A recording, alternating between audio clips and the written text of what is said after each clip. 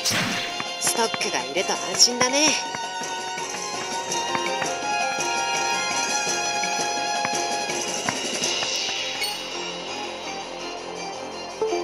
面倒な奴がいるな。今はあの技がある。戦闘はできるだけ回避した方がいい。やっ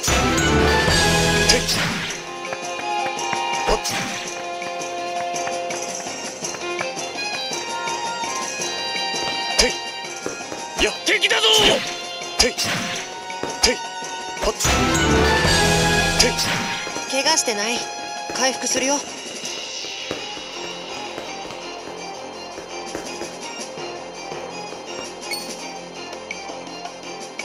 地下水路への入り口奥で塞がれてるよ。やっぱり罠だったんだ。こうなったらもうやるしかおい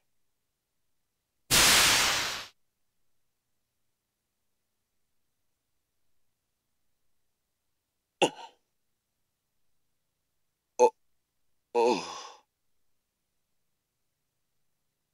おいやれやれ。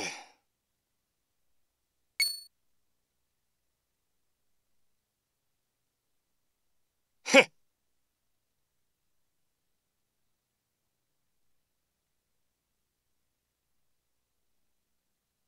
やれやれ。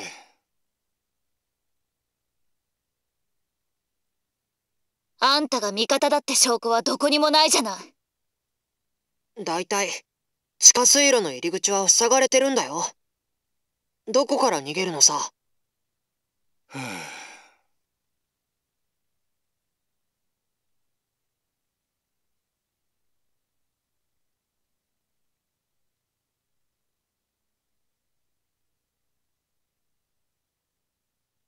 やれやれ。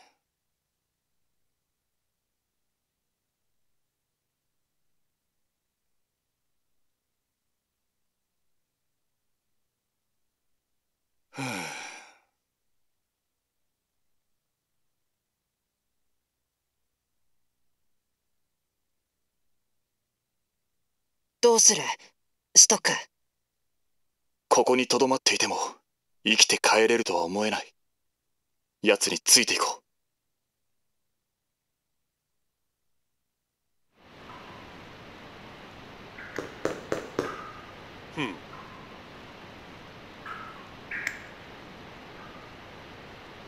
あんたは一体？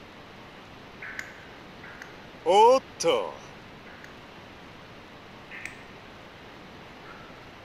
レジスタンス？そのレジスタンスがなぜあんなところに？やれやれ。なぜ俺の名前を？おっと。ふう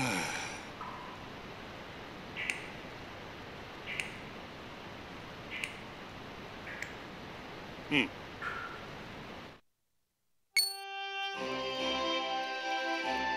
ここって前に来た酒場だよね？そうみたい。とりあえず落ち着けそうね。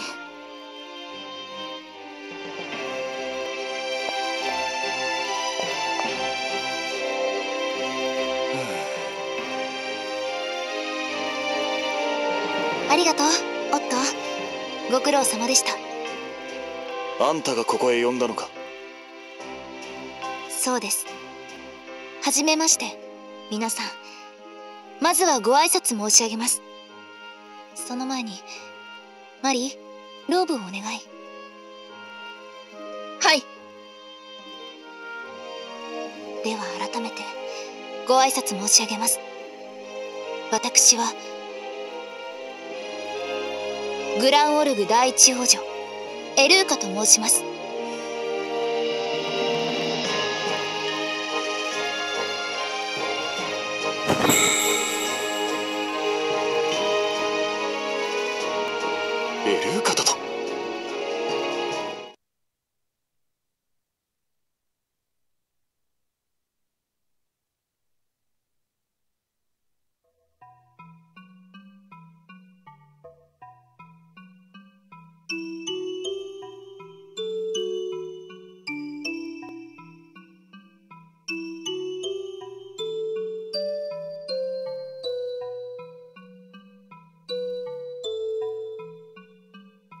えエルーカって。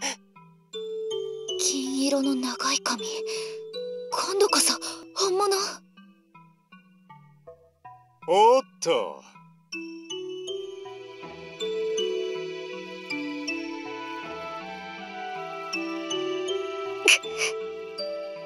あなた方の任務はおおよそ見当がついています。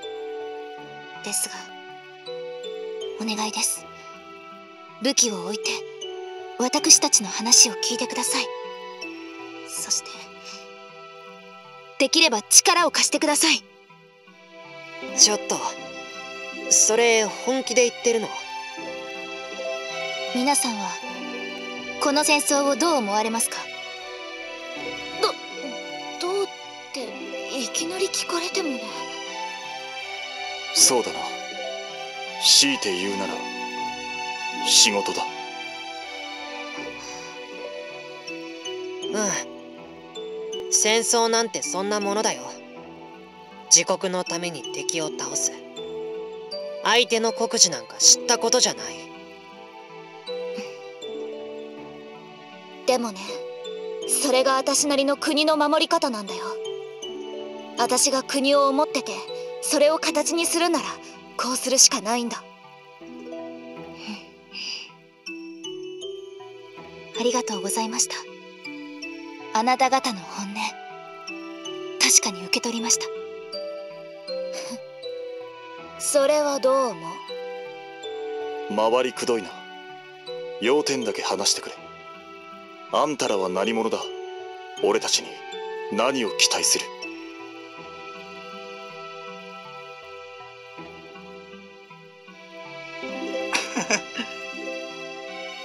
お願いしますピエール。うん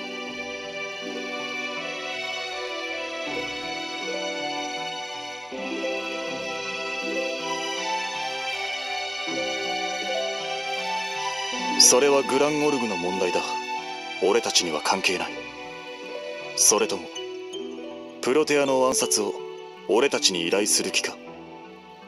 いや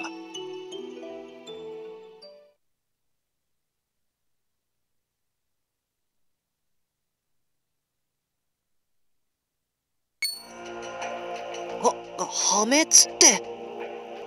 一国の革命と世界の破滅。話の大きさが違いすぎる。説明してもらおう。少し長くなりますがしっかりと聞いてください。かつてこの大陸には帝国がありました。名前さえ忘れられたこの国はマナの研究と技術によって栄えていたといいます。しかし帝国は謎の滅亡を遂げマナは暴走。結果負の遺産だけが残りました。その時からこの大陸のマナのバランスは非常に大きく狂わされました。大地からはマナが流出しマナが失われた場所は砂へと姿を変える。大陸の砂漠化です。この大陸そのものからマナが失われ続けているのです。そんな。だって戦争の原因って大陸の砂漠化なんでしょ？じゃあそういうことは全部その帝国のせいだっての？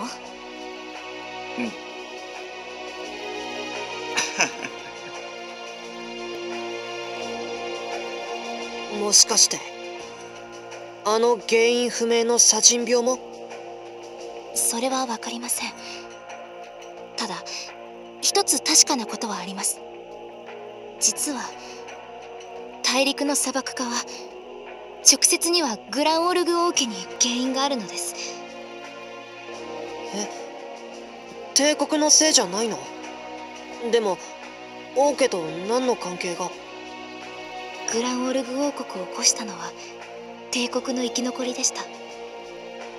王家はその血族なのですそれゆえ帝国がわずかに残したマナーを操る術を受け継ぎました。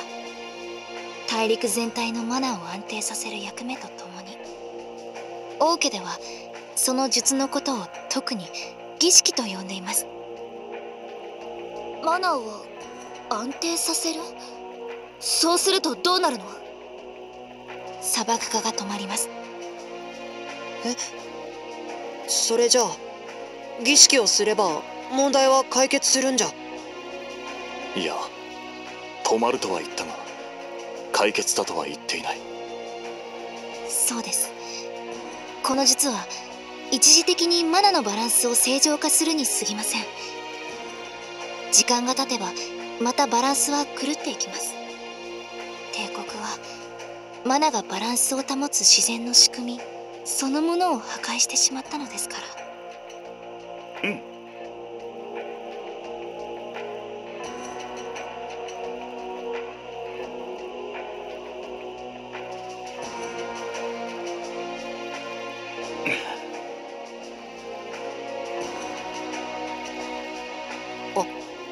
もしかして。先代ビクトール王が亡くなってプロテアが即位してから。確かその時期から砂漠化が急に進んでるって。そうです。お母様は王家の血族ではなく町娘より嫁いだ身。つまり儀式ができないのです。うん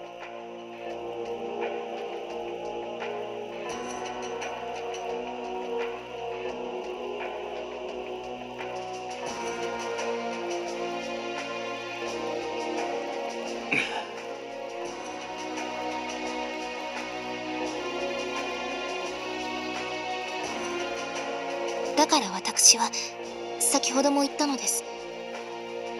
少なくとも近年の急速な砂漠化については王家が原因なのだと。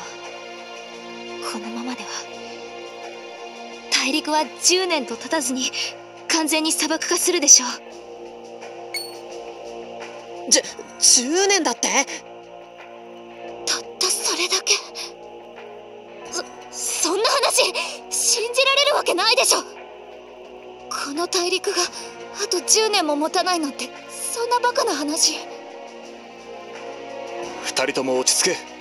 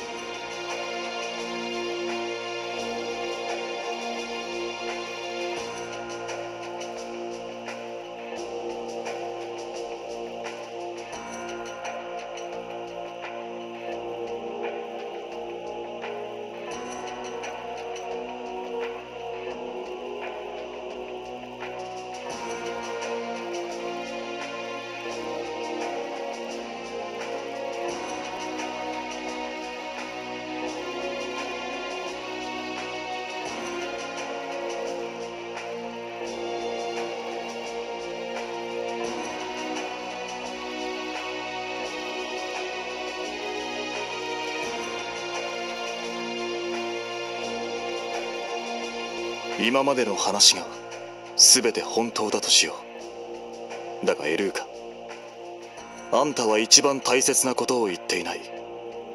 今の話と俺たちが協力すること。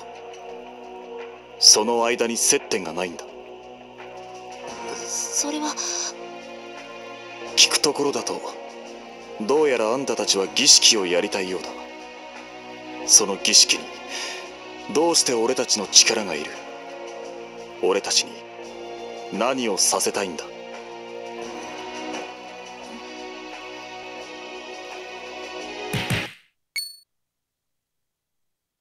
おい。城の連中か。きっと私たちを探し回ってるんだようん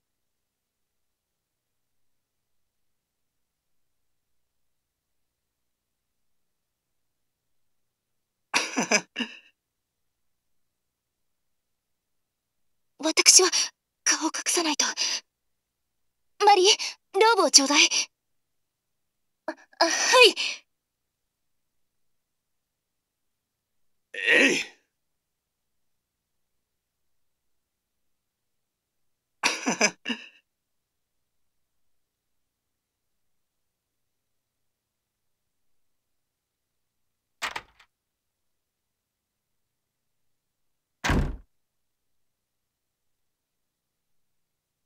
おい。いや。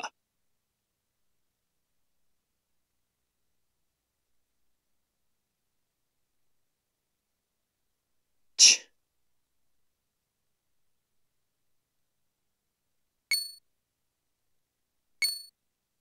ん？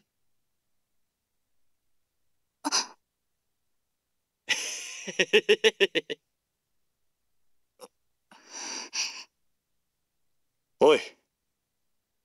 ああ。仕事中に女を口説いてていいのか？でもさ、さっきから誰か呼んでない？こんなところがバレたらきっと隊長さんから大目玉だよね。ち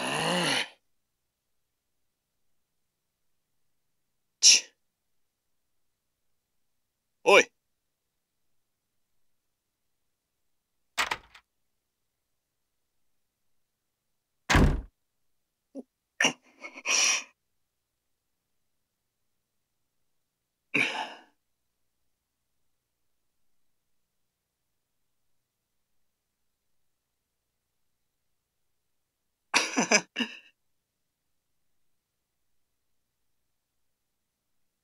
そりゃまあ。僕らが追われる身だもんねそれで、どうするのストック？さっき言った通りだ一番重要なことを俺たちはまだ聞いていないその返事をする場面ではないということだそれに長話が過ぎたそうですね。わかりました。ひとまずあなた方はこの町を出た方がいいでしょう。ここから東にあるコルネ村で村長を訪ねてください。ただ、お願いです。これだけは忘れないで。戦争に明け暮れている間にも砂漠化は進んでいるということ。たとえ戦争に勝っても砂漠化を止めなければ全てが終わるということ分かったエルカ様わかりました。皆さん後のことはよろしくお願いします。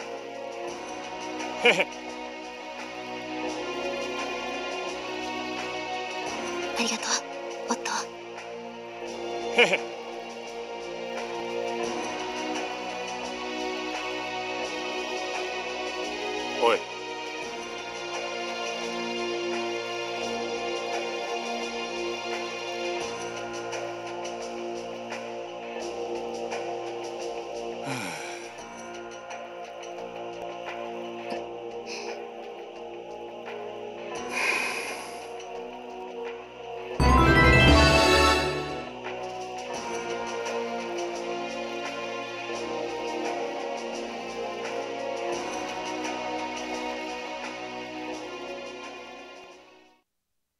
戻ってきましたね。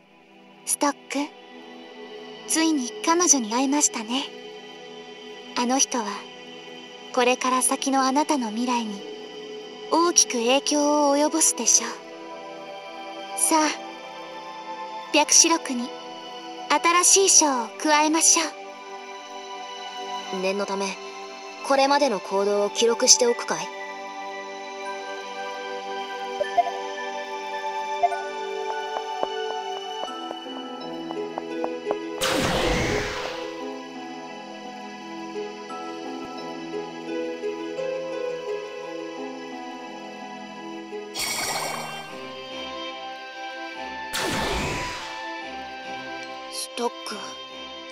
らの言うこと信じるの？完全に信じたわけじゃない。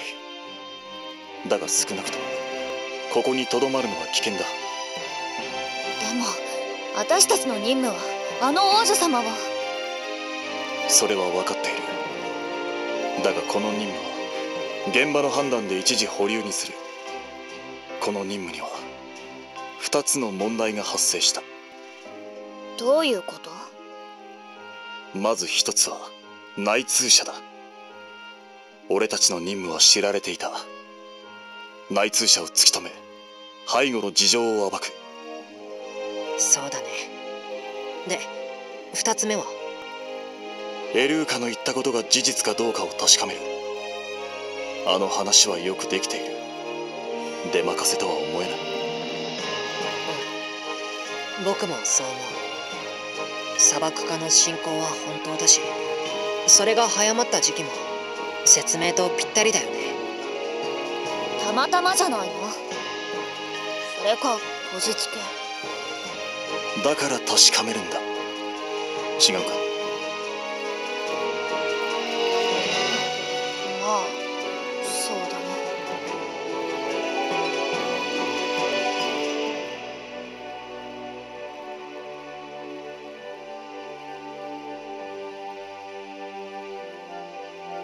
この2つの問題の事実関係を確かめた上で改めて本国に判断を仰ぐ。場合によっては戦争どころの話じゃなくなる。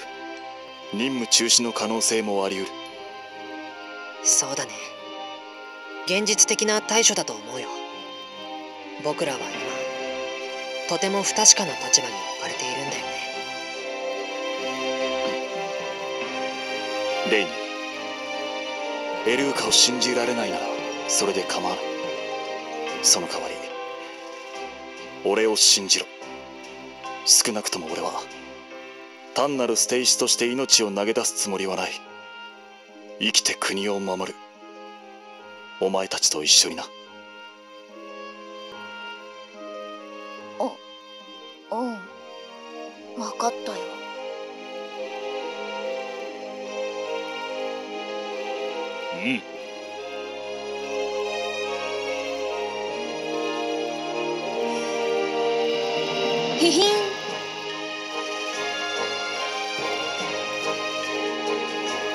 全な場所に連れて行ってくれるみたいだね。でも。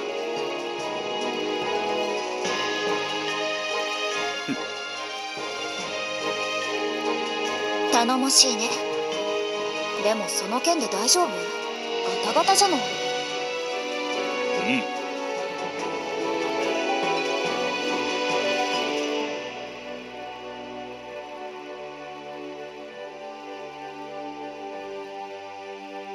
面倒な性格だね。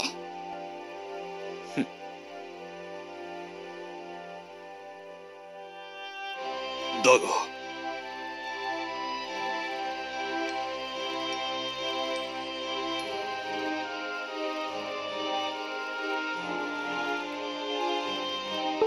シグナスに伝わる砂の剣か覚えておこう。よし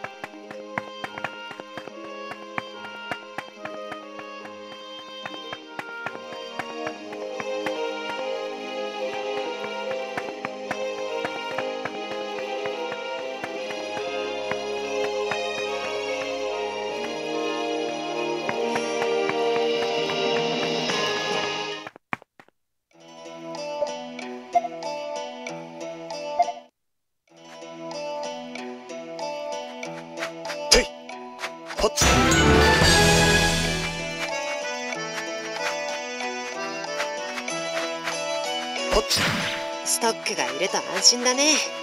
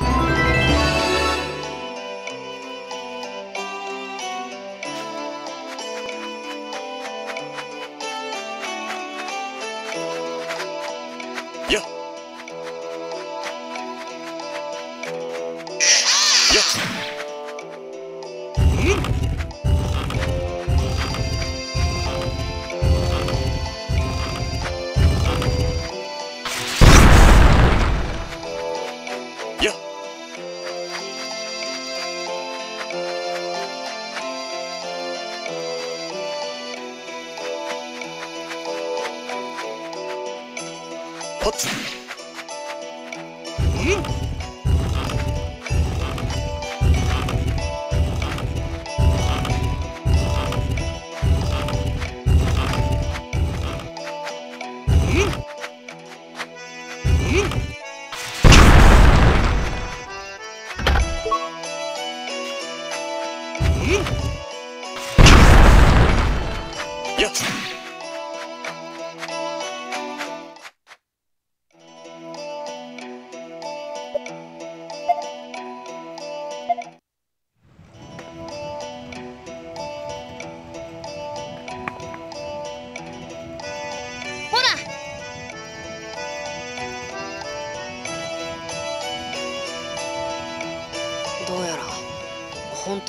全なところみたいだねもうまあ気にしないで。私たちそういう仕事だから。ふ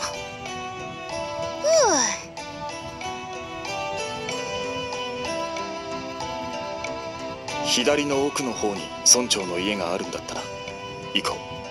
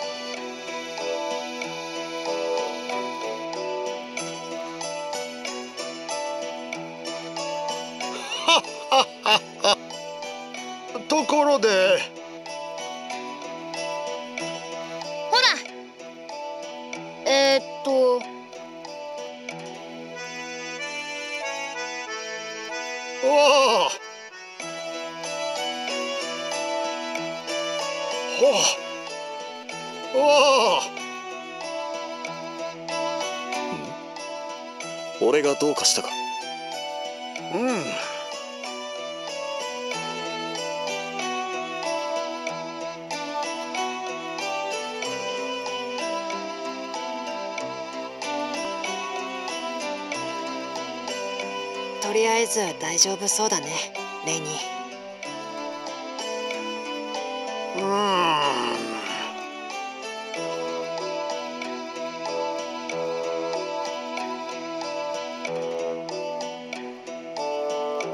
あ十分だ。それよりも一つ聞きたいことがある。この大陸の歴史について少し調べたいのだがそういう資料か何かはあるか？ほ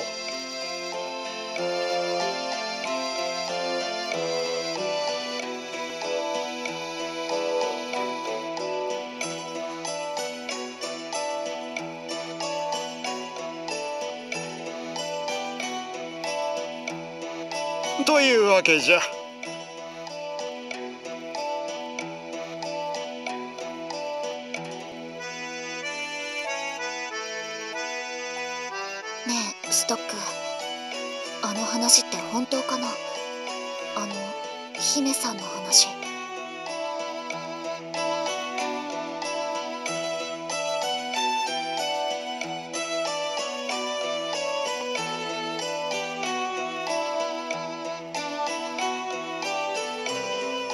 だからこうして調べているんだ。あれだけのことを言ったんだ。あながち嘘だとは思えない。うん。でもさ。お待たせ。いろいろ聞いてきたよ。どうだった？村長さんや他の人にもいろいろ聞いてみたんだけどエルーカ王女たちの言っていた儀式と砂漠化の関係はどうやら本当らしいね。やっぱりそうか。あとは帝国の歴史についても調べてみたいところだな。どうした？レイニ別に。そういえばさストックって前にここに来たことがある？いやない。何かあったのか？村の人がねストックに見覚えがあるようなことを言っていたからさ。それじゃ人違いだね。世の中には似ている人っているらしいしね。それじゃあ僕帝国の歴史が記された書物を探してみるよ。ああよろしく頼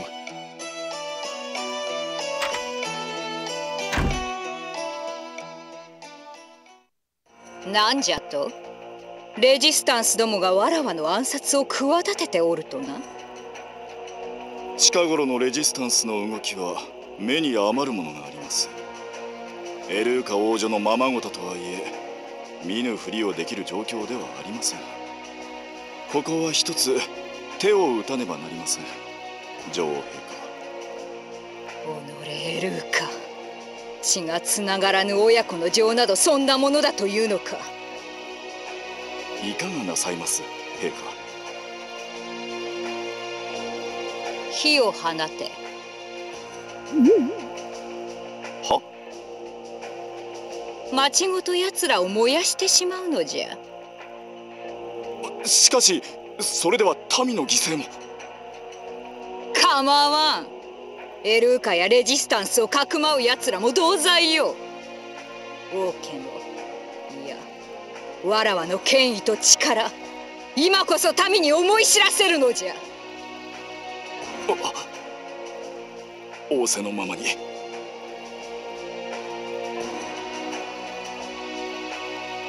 これはこれは。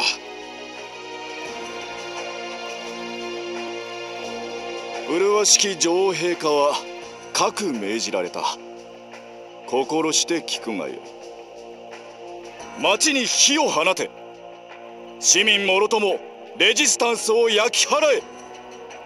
とな？え？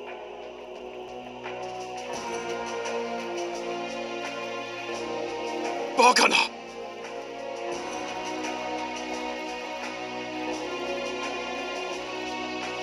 慌てるな。本当に市民を焼くわけがないであろう。私に考えがある。あはい。まず火を放つ直前に情報を流すのだ。レジスタンスが女王を狙って町に火を放ったと。その上で被害が最も少なそうな場所に火を放ち混乱を煽るのだ。これでレジスタンスの連中は動かざるを得ない。おおこれならば女王陛下のご意向にも背いてはおらぬだろうしレジスタンスの奴らをも始末することができよう。お見事。うん。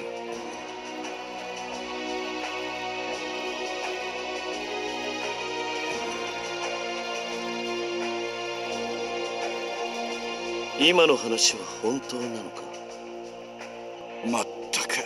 面倒な女だよ元はビクトール陛下のおたわむれの町女でしかなかったもの知れたことだ。元より王家の気品など少しも持ち合わせておら下品で頭の悪い女が何かの間違いで女王の座についた。俺たちが担ぎ上げたとはいえ全くしらける言うなセルもう少しでそれも。用が済んだらあのような女はすぐにでも追い出してくれる。では俺は町に火を放つ汚れ役をやってくるよ。すまんな気にするな。お前はお前の仕事をしろ。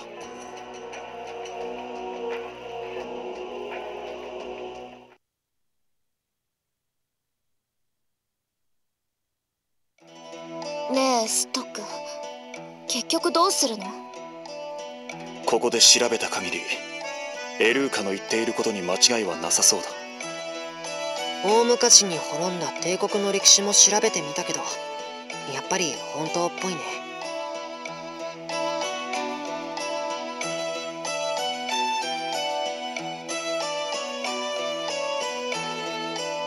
それじゃあストックはあの王女さんに協力する気なの？任務を放棄してさ。別に放棄はしていない。前にも言ったはずだ。一時保留だと。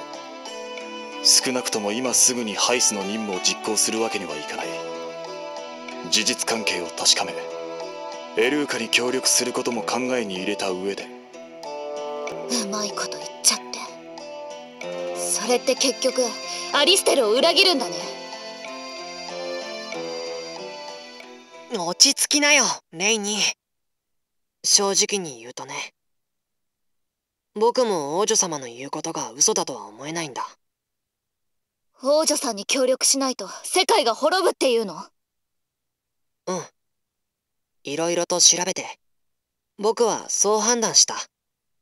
滅びが本当なら戦争が終わったとしても何の意味もないよ。アリステルにいる仲間たちやその家族も誰も助からないんだから。だからってアリステルを裏切るなんて。俺としてもまだ完全にエルーカに協力すると決めたわけじゃない。彼女にはまだいくつか重要な質問に答えてもらっていないからな。その返答を聞いて最終的な決定をする。だがレイにそれさえも裏切りに感じるならお前はこれ以上無理に付き合う必要はない。ス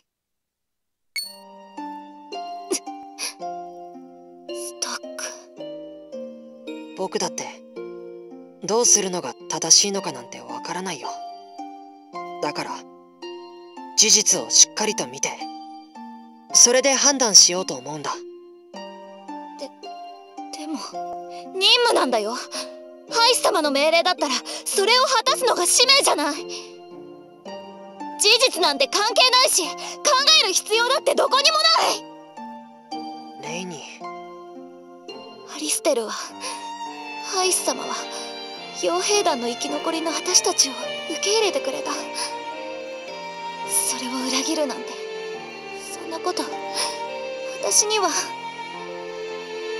レイニーこれだけは言っておく。お前がやりたいことは何だ？ハイスに恩返しすることか？アリステルを守ることか？今まではその二つが両立してきたんだろう。だが今回は違う。どちらか選ぶ必要があるかもしれない。お前はどうしたいんだ？そそんなの今まで考えたことも。なら今から考えるんだ。エルーカに協力するかどうかはまだ決められないが少なくとも彼女は俺たちに考える機会を与えてくれたはずだ。本当に今のままでいいのかということ。そうだね。僕たちの任務もそうだしアリステルとグランオルグの戦争のことだってそうだよ。だってほらもうみんな戦争してるのが当たり前になっちゃってるでしょ。どっちが勝つか負けるか。そんなことばっかり気にしてる。現に僕たちだってそうだったでしょ。それは確かにそうだけど。戦争をやってる場合なのか？なんて。誰も考えない。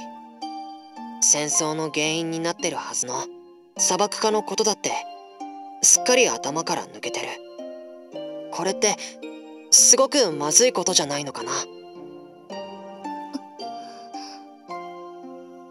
俺もマルカも自分なりに考えてどうするか決めるつもりだ。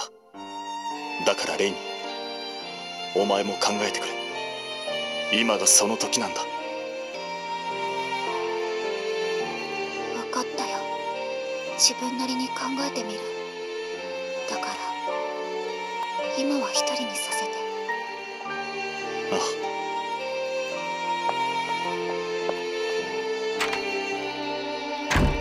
僕たちなんだかんだで今まで一緒にやってきたけど今回だけはそういうのを抜きにしてレイニーの考えが聞きたいな。何かあったらいつでも呼んでよ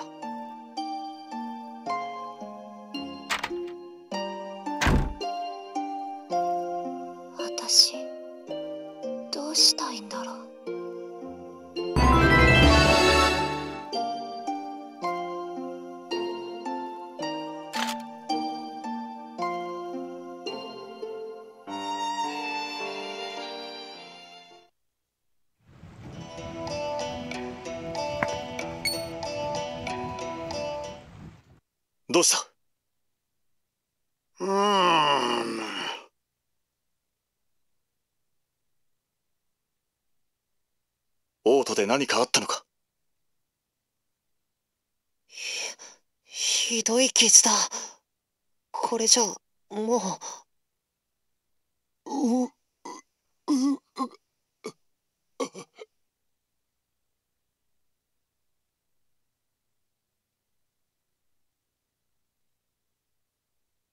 うなんじゃと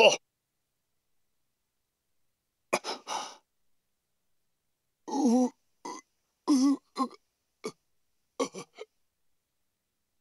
しっかりするんじゃ